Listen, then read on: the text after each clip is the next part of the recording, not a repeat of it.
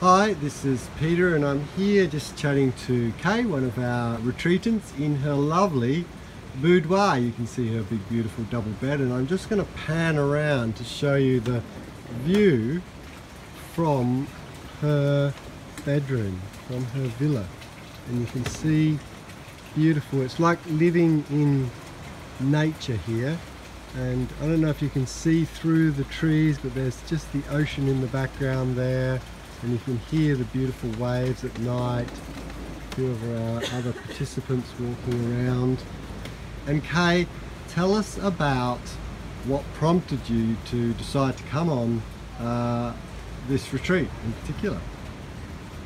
Well I just got into yoga a bit with a friend and we decided that to do it correctly we would come along and and uh, find somewhere we could do it intensely but uh, this popped up. I just happened to Google it, and Peter's name came up, and he sounded very impressive. And we realised it was meditation as well, which was something we'd been interested in, but not really sure how to go about it. And Peter convinced us via phone call that it would be a good spot for us to, to go. And the inner growth program was a bonus, really.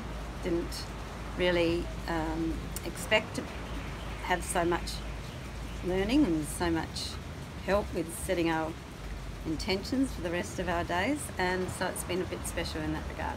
But right. apart from the program, the minute you get here you're in a state of serenity and calm. It's, I've never seen anything, anything like it. The absolutely superb gardens right alongside the ocean.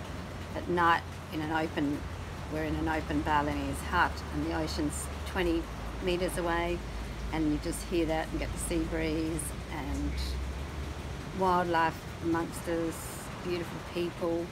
I could go on and on. Food, everything really. Nothing stands out. They're all equally excellent. Mm.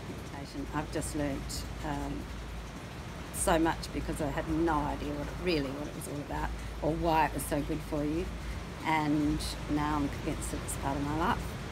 Into this and check it out because there is no better place that it could be. It, is, it doesn't get any better than this. Great.